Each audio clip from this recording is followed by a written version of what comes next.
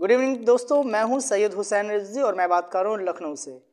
जैसा कि आप जानते हैं कि 2024 यानी कि अगले साल मार्च या अप्रैल में लोकसभा के चुनाव होने वाले हैं।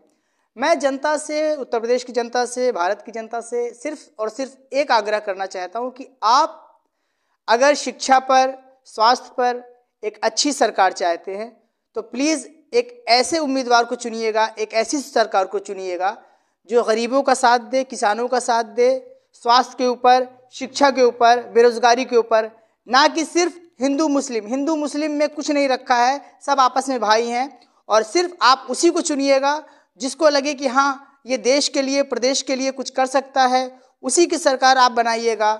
आप जिस, उसको भी वोट, जिसको भी वोट दीजिएगा तो ये सोचकर कि आगे पाँच साल ये देश के लिए क्या करेगा, जनता के लिए क्या करेगा, गरीबों के लिए क्या करेगा? सिर्फ़ मैं आज एक छोटा सा मैसेज अपने देशवासियों को, अपने उत्तर प्रदेश की जनता को अपनी तरफ़ से देना चाहता हूँ। धन्यवाद।